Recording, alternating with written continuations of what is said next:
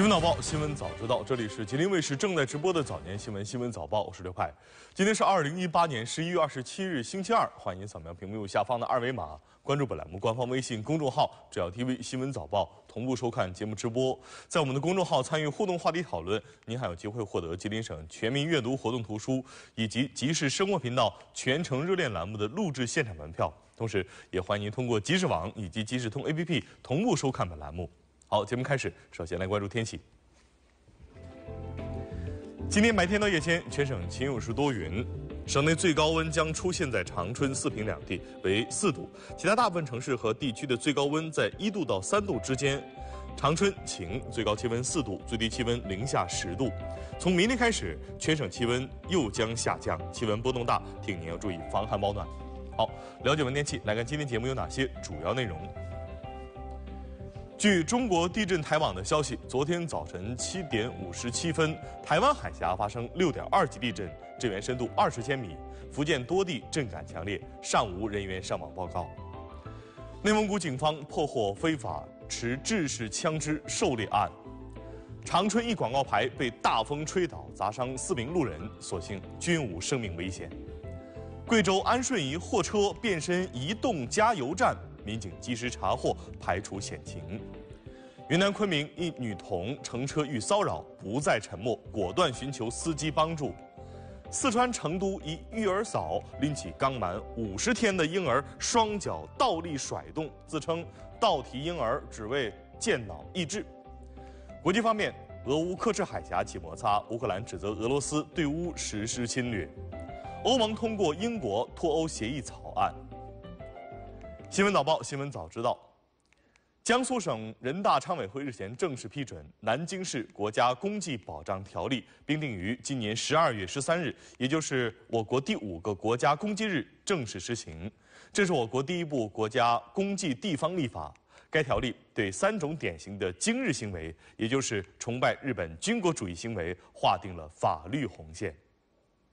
条例第二十八条规定，禁止任何单位和个人歪曲、否认南京大屠杀史实，侮辱、诽谤南京大屠杀死难者、幸存者，编造、传播含有上述内容的有损国家和民族尊严、伤害人民感情的言论或者信息。第二十九条规定，禁止在国家公祭设施、抗战遗址和抗战纪念馆等地，使用具有日本军国主义象征意义的军服、旗帜、图标或者相关道具。拍照、录制视频，或者通过网络对上述行为公开传播。第三十条规定，禁止任何单位和个人侵害南京大屠杀死难者、幸存者的姓名、肖像、名誉等合法权益。条例明确，违反第二十八条、第二十九条规定，构成违反治安管理行为的，由公安机关依法给予治安管理处罚；构成犯罪的，依法追究刑事责任。违反第三十条规定。应当依法承担民事责任。据中国地震台网的消息，昨天早晨七点五十七分，台湾海峡北纬二十三点二八度、东经一百一十八点六零度发生六点二级地震，震源深度二十千米，福建多地震感强烈。此外，广东、浙江等地也有震感报告。地震发生后，福建省地震局随即启动地震应急响应。据地震局工作人员介绍，此次地震发生在台湾海峡南部，离福建陆地最近的距离约一百三十公里。福建南部五个县市测定的地震烈度达到四度，另外二十个县市测定的地震烈度为三度。地震烈度是地震对地表及工程建筑物影响的强弱程度，分为一至十二度，一度最小。受此次地震影响，南昌铁路局启动了地震应急一级响应，封锁了福建境内龙漳铁路漳州至龙山镇间。杭深铁路前场至诏安间、英夏铁路张平至角美间三个区段扣停途经列车，有四十二趟列车因此晚点。据了解，此次地震，福建的厦门、漳州等沿海多地震感强烈，因为地震发生时正是学校的上课时间。从一些学校提供的监控画面可以看到，地震发生后，学校第一时间组织学生们撤离到操场上进行紧急避险。来看台湾普悠马列车事故的后续报道。在事故发生的一个月之后，台当局行政部门普悠马事故调查小组昨天公布了调查报告。调查小组指出，本次事故涉及人员操作、作业程序、机械设备及组织管理等层面的问题。调查小组表示，事故列车行进过程当中，因为主风泵异常，发生列车动力时有时无等异常的状况。又因列车自动防护系统，也就是 ATP 被隔离，而且普悠玛列车的自动防护系统 ATP 远端监视功能没有连线，导致相关防护措施都没有能够被执行。当天事故发生之前，司机为了排除列车异常状况，同调度员通话。没有操作刹车把手减速，列车以时速一百四十一公里进入弯道，超过了曲线倾覆的临界速度，列车出轨。同样是来自台湾方面的消息，在民进党当局的支持和纵容下，台湾岛内极少数台独势力操弄的所谓东京奥运证明公投案，二十四日没能获得通过。岛内舆论认为，这显示岛内台湾民众非常珍惜台湾运动员参加奥运会等赛事的机会，不会被台独拖着走。岛内一些政治势力和独派团体出于自身特定目的，执意推动所谓东京奥运证明公投案。二十四号晚被选民否决。台湾将维持以中华台北名义参加奥运会等国际赛事。台湾媒体报道指出，冬奥证明的争议在于美其名是证明，但实则是拿选手的参赛权当赌注，而其政治盘算说穿了就是换了包装的统独公投。多年来，公投一直是民进党和台独势力用以绑架民意、推动台独、挑衅大陆、骗取政治私利的工具。陈水扁执政时期两次强推公投，均被台湾民意否定。民进党再次上台后，借在立法机构的席次优势，修法大幅降低公投门槛，并纵容操作所谓冬奥证明公投，这遭到了台湾主流舆论和社会各界，包括体育界人士强烈谴责。许多运动员公开站出来发声，发出政治不要介入体育的诉求。国际奥委会也多次致函中华台北奥委会，提出严正警示。然而，民进党当局和台独势力明知不可为，却仍一意孤行，足见其无视国际规则，以政党利益凌驾于民众利益，以民粹手段行政治骗术的真实面目。台湾民意再一次用实际行动击碎了台独迷梦。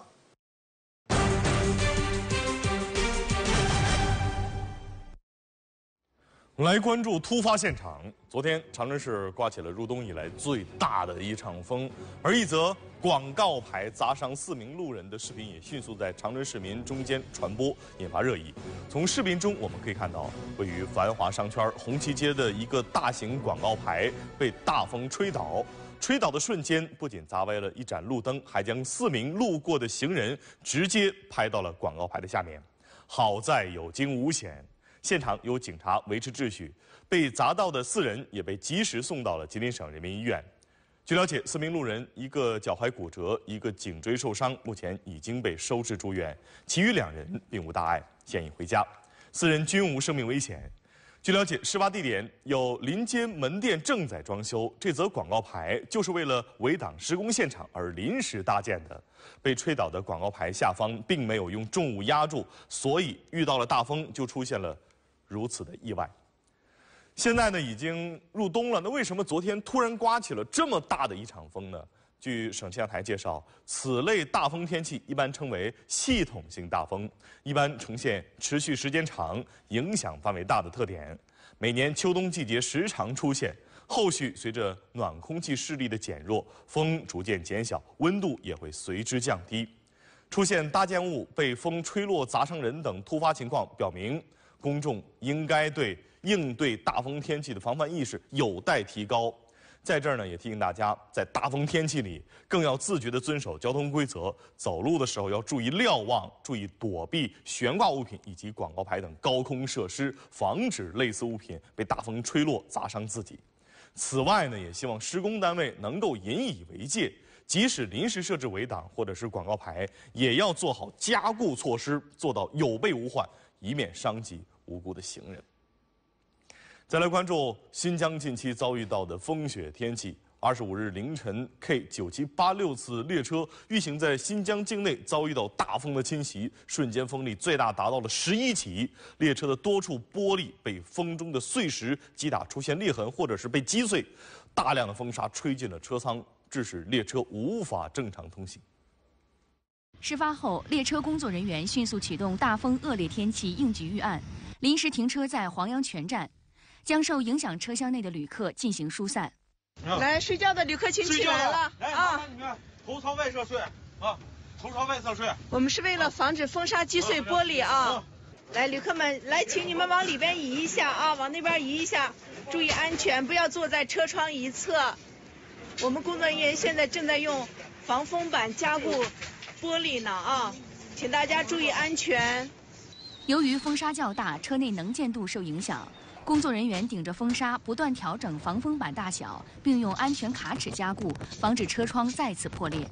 经过四个半小时处理，列车于当天早晨八点再次发车。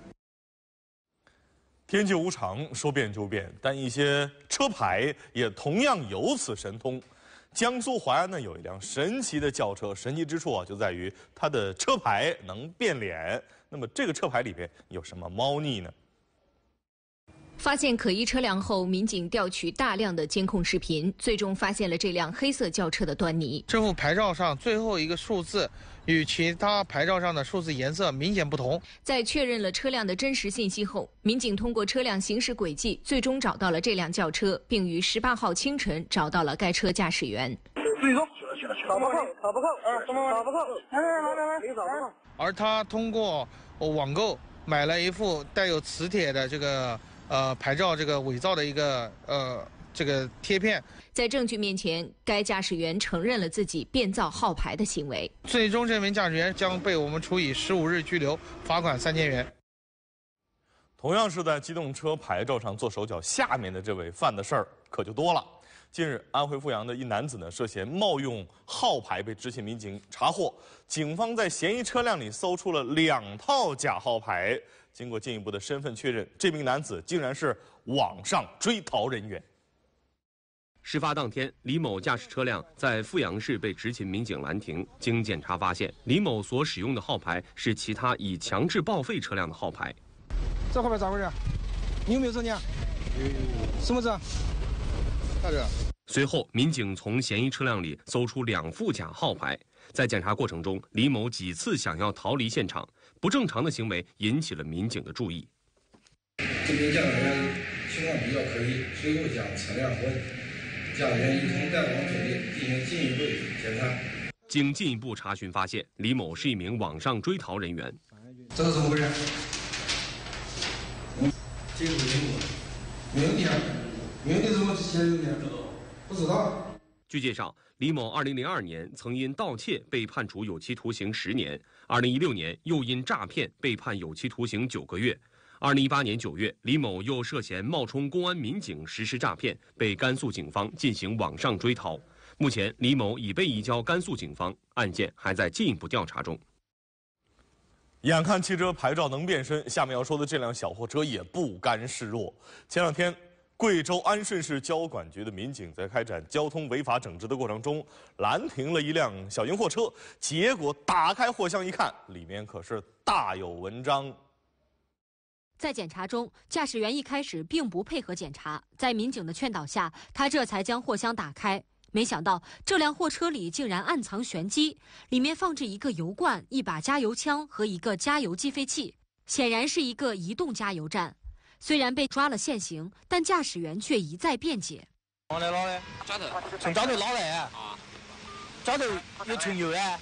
面对交警的进一步盘问，驾驶员孙某只能如实交代，他是准备开车到武当山的一个工地去给大货车加油的。油箱里装的两吨柴油是以每升六块多钱的价格买进来的，准备以每升七块多的价格卖出，从中赚取差价。我们之前加过是六块五啊。我们生意供应商就和市场价一样的呀。多少？七块零四分。民警介绍，这种货车不具备专业危化品运输车辆的安全性能，极易引发危险事件，存在巨大的安全隐患。驾驶员孙某因涉嫌违法运输柴油，被民警依法移送至派出所。目前该案还在进一步调查办理中。其他方面，我们来关注云南昆明一名小学女生独自乘坐公交车回家的时候，被一名中年男子骚扰，孩子第一时间找到了公交车司机，寻求帮助。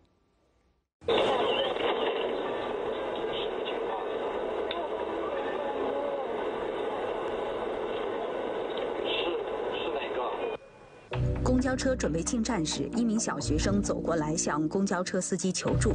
监控视频显示，当天下午四点半左右，这名女孩在建设路上了车，坐到车厢中间位置。不久，乘客陆续下车，车上剩下几名乘客。一名中年男子离开自己的座位，坐到了女孩的身边。不一会儿，女孩站起来准备离开座位，这名男子挪到女孩的位置上，致使女孩无法出来。之后，男子又回到自己的座位，女孩坐了下来。期间，男子还四处张望。又过了一会儿，女孩奋力从里面走了出来，站在车厢里。公交车到了终点站，女孩向公交车司机求助，司机蒋师傅把女孩带下车，交给保洁员照看。经女孩指证，车上一名没有下车的男子就是骚扰她的人。蒋师傅上车将男子揪下了车。随后，蒋师傅的同事报了警，女孩的妈妈赶到了现场。目前案件正在进一步调查中。我们再来看救援现场。二十五日，在广东肇庆市一处居民楼，一名八岁的男孩被困在阳台，情况十分的危急。当地消防部门接警之后，立即赶往现场。消防人员到达现场后，发现事发地是一栋七层的居民楼，男孩被困在五楼的防盗网外，双脚踩在一个宽约零点五米、长约一米的地方。现场有一民警在被困居民的阳台内拽着男孩。靠近防盗网旁边一米的位置是楼道的铁窗，消防人员立即使用无齿锯对铁窗进行破拆，随后通过穿戴防坠落辅助部件爬出铁窗，慢慢靠近男孩被困的位置，最后将孩子救了出来。据了解，当天被困男孩来同学家玩，在无大人看管的情况下翻越阳台被困。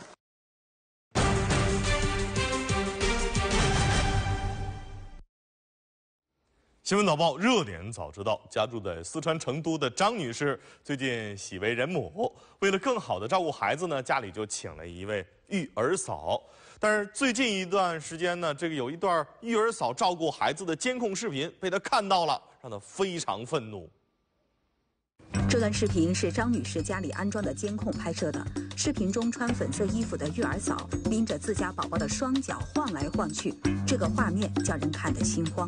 张女士的宝宝才出生五十天，从出院回家就一直由育儿嫂陈大姐照顾，一家人也都对陈大姐很关照。孩子还未满月期间，陈大姐对孩子的一些举止就遭到了张女士一家的质疑。十一月二十二号，张女士在家里安装了一部摄像头，没想到第一天使用，在全家人都外出时，竟然让他们看到了揪心的一幕。育儿嫂趁家里没有人时，背着一家人将小宝宝娇嫩的身体倒立着来回晃动。只要想起这一幕，张女士和母亲就忍不住落泪。根据这一幕，结合孩子最近的表现，张女士觉得孩子出了问题。我不知道他到底是不是为了小孩好，但至少来说，现在小孩。嗜睡的情况出现了，呃，我现在也没有办法去做一个鉴定，说，嗯，到底是不是因为他这样的一个举举动造成的这样一个结果？但是作为家长来说的话，看到这样的视频真的很揪心。而当问及育儿嫂为什么要抓着双脚尖婴儿倒立甩动的时候，哎，她有理由，她表示说，这一切都是为了孩子好。陈大姐说，她看到张女士一家对她很好的情分上，想更好的对孩子，所以拿出了她在育儿上的看家本领，给宝宝推拿按摩。我是有资质的，有专业的证书的。啥证书呢？呃，按摩师证和小儿推拿证。都有的，只是我现在拿不出，因为我没在他身边，我在老家放弃。对于陈大姐所言，张女士一家并不赞同。在监控中，他们所看到的并不是孩子表现出的陈大姐所说的舒适感，反而是哭闹。但陈大姐一再强调，她的手法很专业，不会对孩子有任何影响。那么，将孩子倒立悬空并来回晃动，真的可以促进睡眠、健脑益智吗？把小孩子倒提起来晃荡。啊，其实呢，对小孩子来说呢，是一种呃惊吓和刺激。那么小孩子受惊吓刺激之后呢，他可能会呃哭闹啊，或感到紧张啊。那么这种哭闹紧张过后呢，他就会感到非常疲惫啊。在这种情况呢，他就可能会呃马上的入睡，就造成了这种晃荡之后呢入睡比较好的这种假象。医生还表示，不管是健脑益智还是促进睡眠，采用这种办法是不科学的。这种方式是不可取的。为什么不可取呢？那么就是第一啊，把小孩这样倒提起来晃荡，可能会对孩子的这个关节、骨骼啊造成一定的损伤。那么第二呢，就是说把这种这么小的孩子倒提起来，可能会引起呕吐。那么呕吐呢，又会引起这个窒息啊，误袭窒息。第三呢，小孩子被倒提起来晃荡之后呢，他的血液啊往头部流，会引起大脑的充血。目前，张女士已经就此事报警，并打算带宝宝去医院进行全面检查，同时还将辞退这位育儿嫂。新闻继续，在内蒙古通辽市，当地森林公安局破获了一起非法持制式枪支狩猎案，抓获犯罪嫌疑人六名。具体来看，据通辽市扎鲁特旗罕山森林公安派出所民警介绍，案发当天，他们接到报警称，在山里听到两声枪响。随后，警方对群众举报的地点进行了布控，在保护区内截获了一辆黑色越野车，并对车辆进行现场搜查。这是啥呀？口径车。哎呀，这我可不知道。这是从从从你这发现的啊！民警立即将五名司乘人员控制住。在搜查嫌疑人手机时，警方发现了一段持枪视频及两张持枪照片、四张野生动物照片。枪呢？没有，拿出来。没枪，啊？真没有枪，真没有。不是，这啥呀？这我都没偷，我都没有。来，这靠上来，你别靠上啊！靠靠靠靠靠！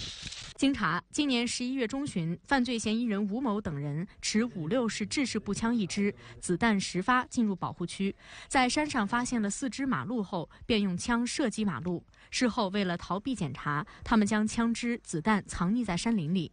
目前，吴某等六人因涉嫌非法持有枪支罪和非法狩猎罪，被当地森林公安局刑事拘留，案件正在进一步调查中。近日，重庆交通执法人员在巡查的时候呢，发现有一辆商务车迎面驶来，而这个轮胎啊已经被压扁了，随即引起了执法人员的注意。这辆商务车被拦停后，执法人员要求驾驶员出具相关证件，可驾驶员神色慌张，语无伦次。当执法人员拉开车辆滑门，发现车内乘客人挤人，挨在一起。十一、十二、十三。我们对该车上面的乘客一经清点之后，发现车上共有十六名乘客，而该车行驶证显示该车核载为八人。据了解，该车没有任何的道路运输经营的手续，驾驶员却以每人一百到一百六十元不等车费招揽乘客，将他们送往云阳县和奉节县。执法人员表示，该驾驶员因涉嫌未取得道路运输经营许可，擅自从事道路运输经营，依法对其开具违法行为通知书，并将车辆暂扣。其涉嫌超载的违法行为已按程序移交交巡警处理，目前案件还在进一步处理当中。下面的新闻呢，要给司机朋友们提个醒儿，很多人都觉得呀，喝了酒睡一觉再开车应该没事了，结果呢，往往是第二天人醒了，酒还没醒。当天早上，秦皇岛市公安局交警支队一大队的执勤民警在市区红旗路设卡，对过往车辆例行检查。这时，一辆黑色轿车缓缓地驶入检查岗。哎，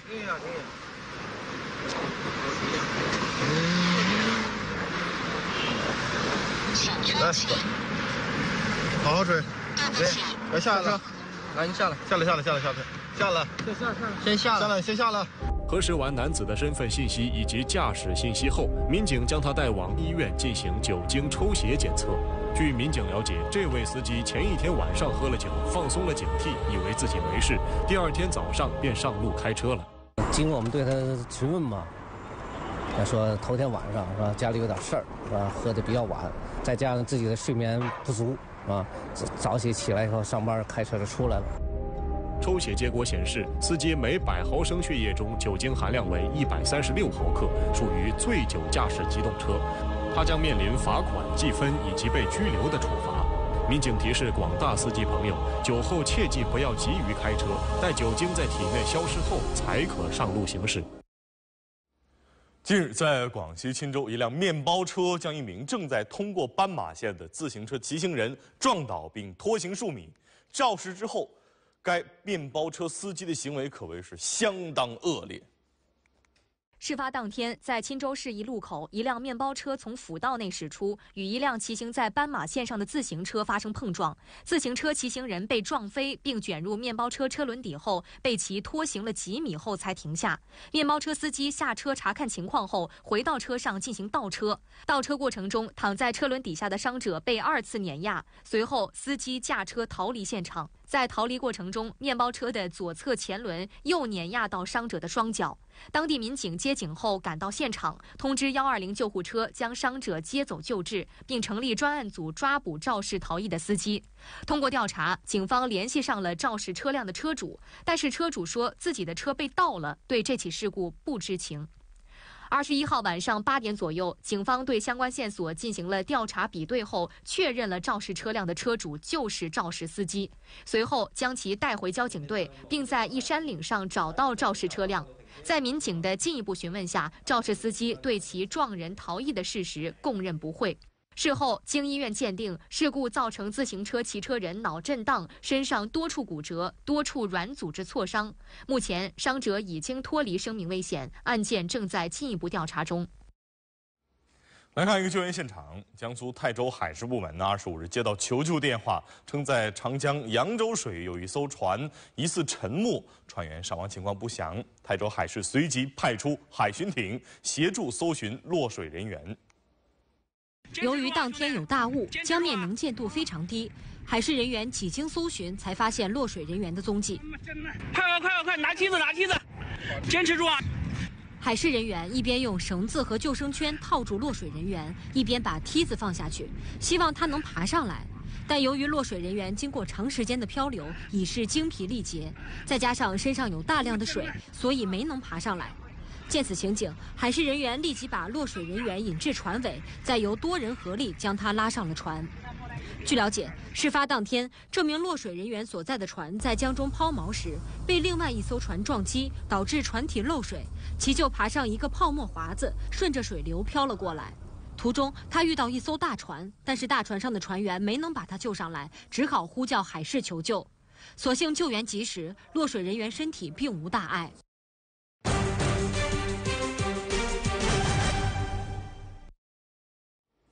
新闻早报，新闻贴心报，进入生活服务资讯板块。首先来看全国天气情况。昨天早晨，全国多地出现了浓雾，部分地区能见度不足五十米。中央气象台继续发布大雾橙色预警。受冷空气影响，华北的雾气有望被驱散，但黄淮、江淮、江南西南地区的大雾天气还将持续。具体来看。到十二月二号，江苏、安徽、上海、浙江北部等地夜间至上午时段有大雾；江苏中西部、安徽中东部的部分地区有能见度小于二百米的强浓雾，局地有特强浓雾。另外，河南东部、山东南部、湖北中东部、四川盆地以及江南北部的部分地区也多大雾天气，当地人们要特别注意出行安全。此外，在较强冷空气影响下，新疆北部、甘肃、内蒙古等地的部分地区出现八至十级阵风，局地达十一至十三级；新疆北部、甘肃西部气温下降了四至八摄氏度，局地达十二到二十摄氏度。新疆北部、甘肃酒泉和张掖、内蒙古阿拉善盟、锡林郭勒盟等地出现扬沙天气。随着冷空气东移，未来三天，甘肃中北部、内蒙古大部、华北北部、东北等地都将先后出现五至七级偏北风，气温下降六到十摄氏度，局地降温可达十二摄氏度以上。内蒙古中西部、宁夏北部、陕西北部等地仍有扬沙，当地人们外出要做好防护。来看省内总体天气情况。今天白天到夜间，全省晴有时多云，省内最高温将出现在长春、四平两地，为四度；其他大部分城市和地区的最高温在一度到三度之间。长春晴，最高气温四度，最低气温零下十度。近期气温波动比较大，请您要注意防寒保暖。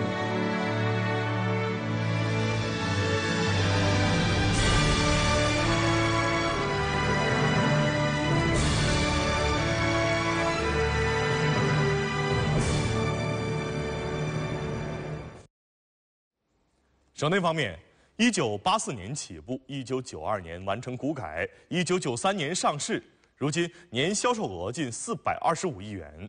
这是长春欧亚集团股份公司在改革开放浪潮中迈出的坚实步伐。三十四年来，长春欧亚集团股份公司不断创新经营模式，诚实守信，优质服务，创造了一个又一个商业奇迹。这座位于长春市东风大街上的欧亚车百商场，在一九八四年叫长春市百货公司第四商店。虽然名字叫四百，其实就是个位于汽车厂生活区的三层小门市。如今大家熟知的长春欧亚集团股份公司，就是从这里起步。已近七十岁的王秋静，一九八五年来到四商店当售货员。对于当时的工作环境，到现在他还记忆犹新。当时就有一个非常小的一个电梯，一到最困难的时候，季节的时候，比如说，呃，冬季要上大棉鞋，哎，到这时候停电了，或者机器发生了故障，我们全都是肩背人扛。一九八四年，当时长春市最大百货商店的利润是一千二百七十四万元，而小小的四商店利润不及老大哥的零头。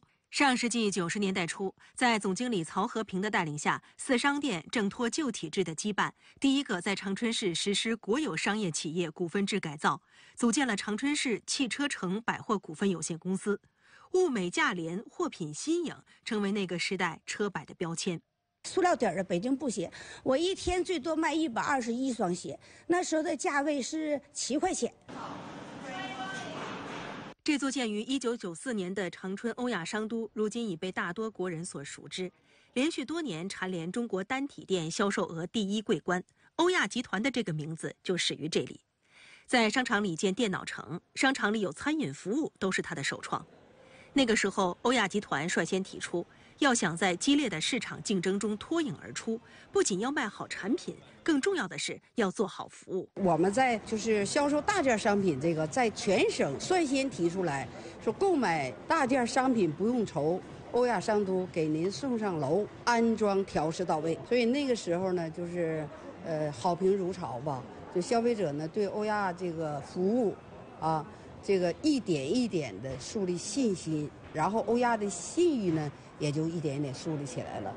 多年来，长春欧亚集团股份公司积极适应社会消费需求，细分市场，先后建立了欧亚商都、欧亚卖场、欧亚新生活以及众多连锁超市，构筑了现代百货、商业综合体、商超连锁为核心业态的经营格局。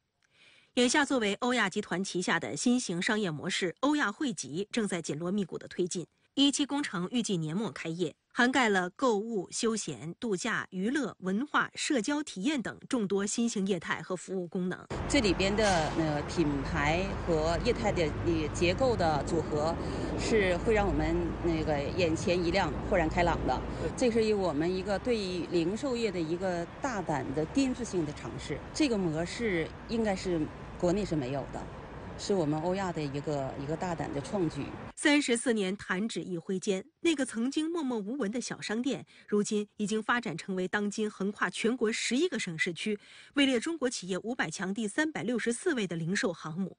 公司的年销售额比一九八四年增长了三千四百多倍，利润增长三千八百三十六倍，缔造了商业神话。那么今后呢？我们这个在黄河流域，我们在。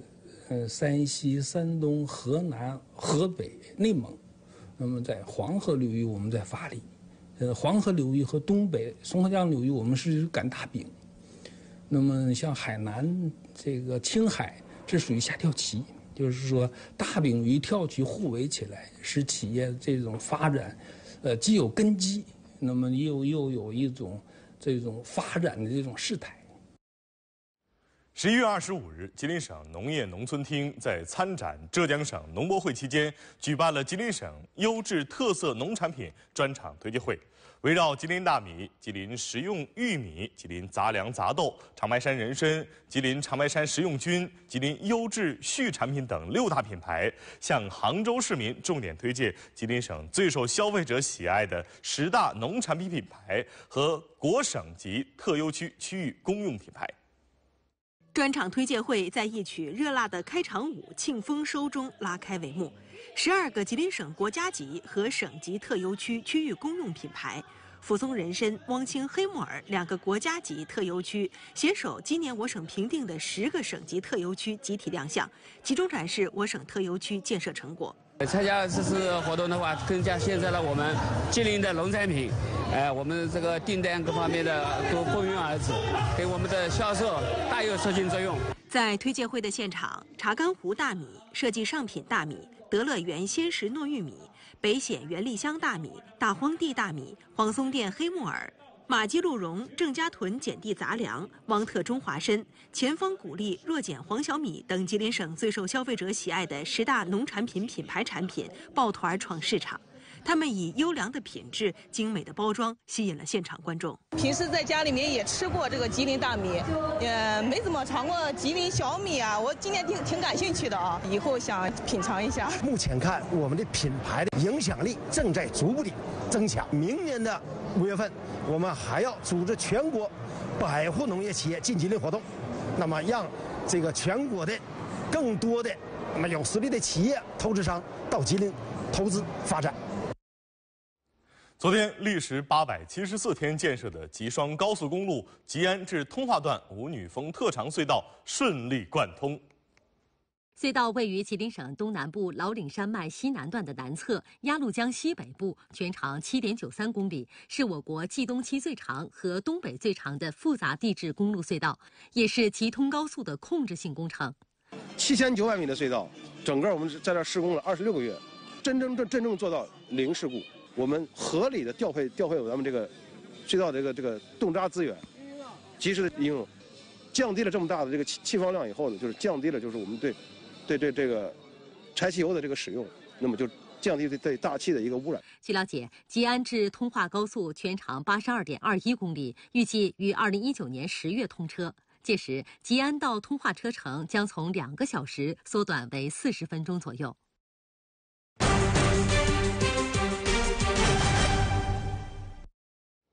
新闻早报热点早知道。国际方面，近期俄罗斯和乌克兰的关系再度紧张。当地时间二十五日，俄罗斯和乌克兰海军船只在刻赤海峡附近发生摩擦。俄方称，乌克兰海军五艘船只当天未经俄方许可试图穿越刻赤海峡，俄方采取多种措施予以阻止，并扣留了其中的三艘船只。目前，俄罗斯方面已经关闭了刻赤海峡。根据俄罗斯联邦安全局发布的消息以及俄罗斯媒体的报道，莫斯科时间二十五号七点左右，乌克兰海军三艘船只未经俄方许可进入俄临时封闭的黑海某海域，并一度向连接黑海与亚速海的刻赤海峡行驶。随后，又有乌海军两艘船只快速驶向刻赤海峡。俄方称采取多种措施制止了乌方这一挑衅行为。俄罗斯联邦安全局证实，为了阻拦最初驶向刻赤海峡的三艘乌海军船只，俄方动用了武器，并扣留了这三艘船只。此后，俄罗斯方面关闭了刻赤海峡。从发布的画面中可以看到，在刻赤海峡大桥下方停泊有俄方的大型货船、拖船以及数艘巡逻艇。此外，还有俄军军舰、军机在附近区域加强安保。针对这一事件以及亚速海局势。俄罗斯常驻联合国副代表德米特里·波利扬斯基表示，俄罗斯已经要求联合国安理会召开紧急会议。对于此次在刻赤海峡发生的摩擦，乌克兰方面直接指责俄罗斯实施侵略。乌克兰总统表示，将会向议会申请在全境实施战时状摆。乌克兰海军新闻局在社交媒体上发布消息说，当地时间二十五号上午，由乌克兰海军两艘炮艇和一艘拖船组成的船队试图通过刻赤海峡大桥从黑海进入亚速海，但遭到俄罗斯舰艇阻拦。俄罗斯一艘舰艇故意撞击乌海军拖船，造成拖船主发动机和船舷受损，拖船上救生艇被撞脱落。随后，俄舰艇还向乌海军一艘炮艇开火，造成六人受伤。目前，乌海军三艘船只已被俄方扣留。二十五号，乌克兰国家安全与国防委员会秘书土尔其诺夫说，俄罗斯军方针对乌克兰海军舰艇的行动是军事侵略。乌克兰外交部长克里姆金则表示，按照国际法的规定，俄罗斯已经实施了针对乌克兰的侵略，因此乌克兰与俄罗斯在公海上已经发生战争。据俄罗斯卫星通讯社二十六号报道。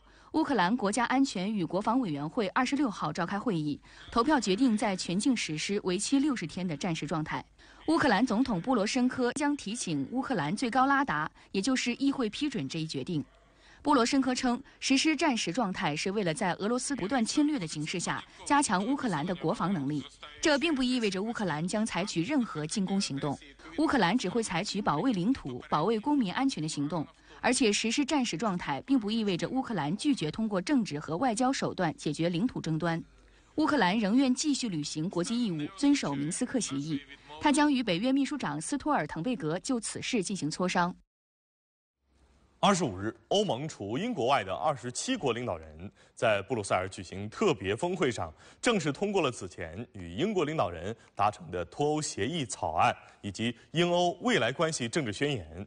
这是英国和欧盟启动脱欧谈判一年多以来所取得的重大成果。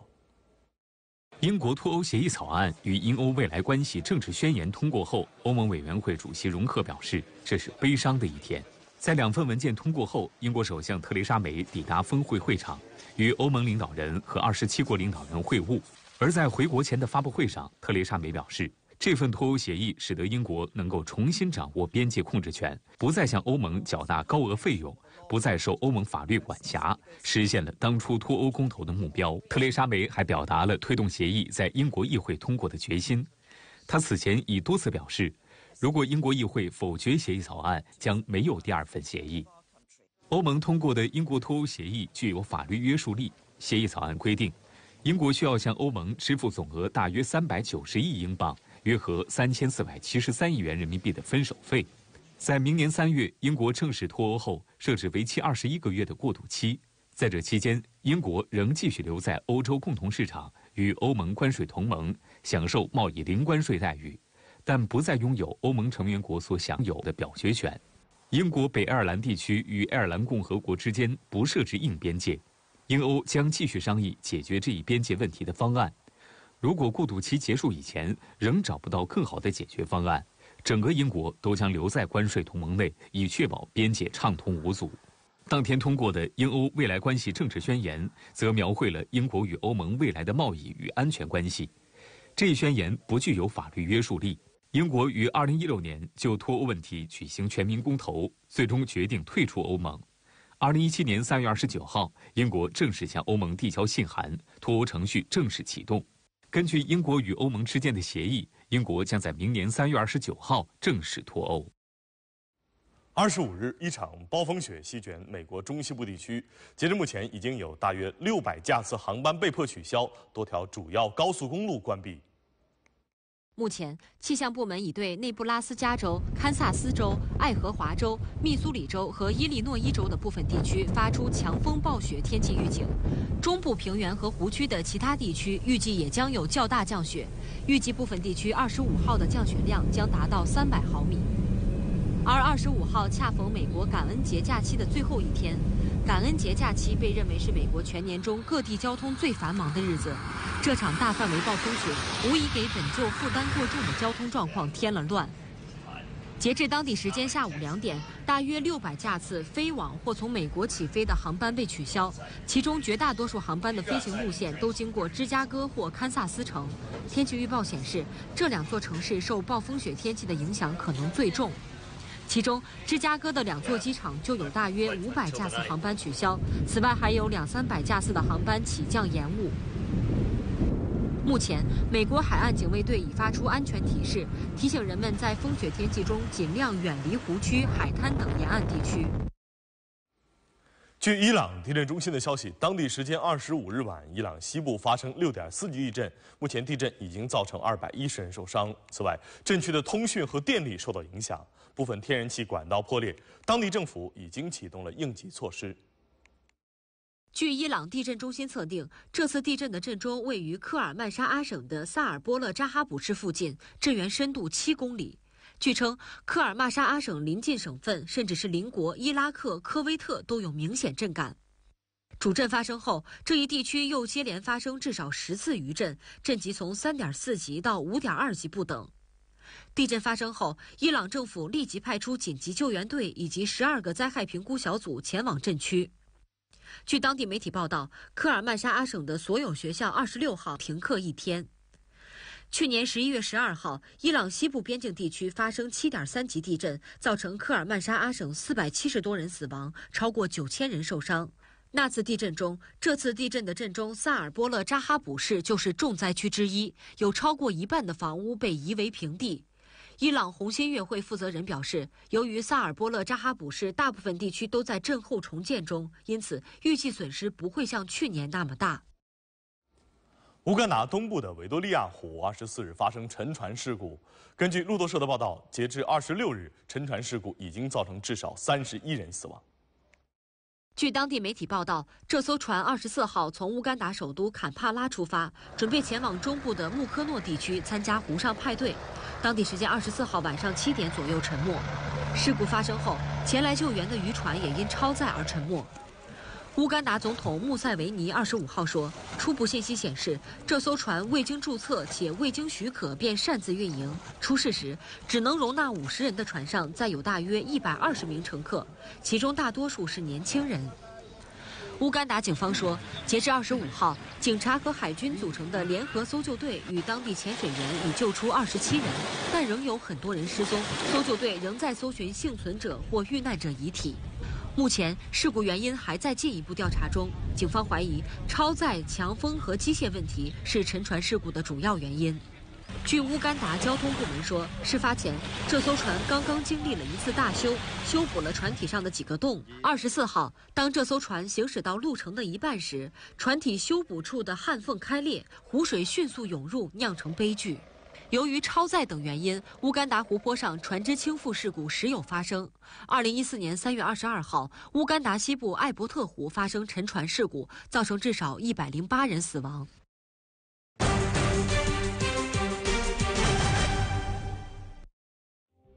体育方面，首先来关注跆拳道方面的消息。世界跆拳道团体总决赛在阿联酋落下大幕，中国女团半决赛淘汰俄罗斯队，与科特迪瓦上演最后的巅峰对决。最后，中国队以七十七比四十一大比分击败科特迪瓦队，夺得女团冠军，也成就了中国姑娘们的四连冠。目光转向美职篮赛场，昨天詹姆斯领衔的湖人队主场迎战奥兰多魔术。一开场，詹姆斯就火力全开，接连上演转身过人好戏，频频攻篮得手。最终，詹姆斯砍下了全场的最高二十四分，但却没能帮助球队取胜。最后时刻，波普远投不中，给了魔术反击的机会。戈登轻松上篮得分，将比分锁定在了一百零八比一百零四，客场战胜湖人。另一场比赛中，迈阿密热队客场挑战东部老大多伦多猛龙，结果韦德共打了三十四分钟，砍下了三十五分、五个篮板，还有六次助攻，这是他近四个赛季以来单场最高得分。但是老将的努力并没能带领球队赢球，最终热队在客场以一百一十五比一百二十五不敌猛龙。此役过后，猛龙拿下了本赛季的第十七场胜利，笑傲全联盟。文化吉林，追梦中国。吉林文投集团提醒您关注天气变化。让我们再来关注这一时段的天气。今天白天到夜间，全省晴时多云。省内各地的具体天气情况，我们来看天气预报。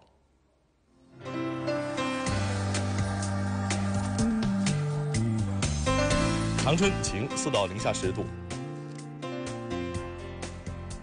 白城晴，一到零下九度。松原晴，二到零下十度；四平晴，四到零下十一度；辽源多云，三到零下九度；吉林晴，二到零下九度；通化晴，四到零下十度；白山晴，一到零下十五度。延吉晴，四到零下八度；长白山晴，二到零下十四度；长春晴，四到零下十度。好，今天的节目就是这样，欢迎您扫描屏幕右下方的二维码，关注本栏目官方微信公众号“浙江 TV 新闻早报”，参与互动话题讨论，赢取吉林省全民阅读活动精美图书等奖品，以及集市生活频道全程热恋栏目的录制现场门票。位于镇来县的莫莫阁国家级自然保护区是鹤的故乡、鸟的天堂，也是吉林省最大的湿地保留地，被誉为吉林西部之肾。节目的最后，让我们一起走进莫莫阁，去欣赏那里的壮丽美景。明天同一时间，我们再见。